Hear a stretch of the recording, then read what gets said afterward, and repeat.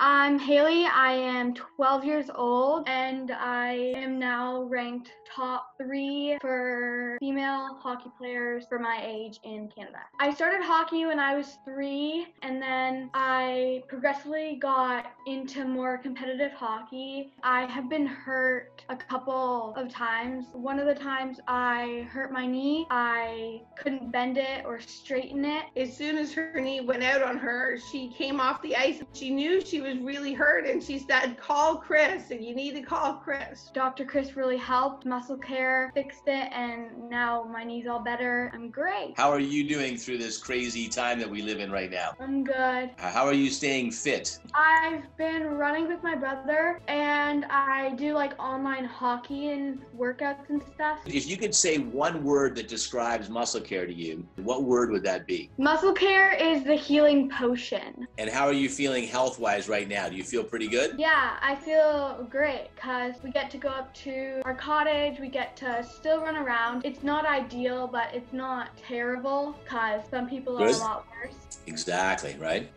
Exactly.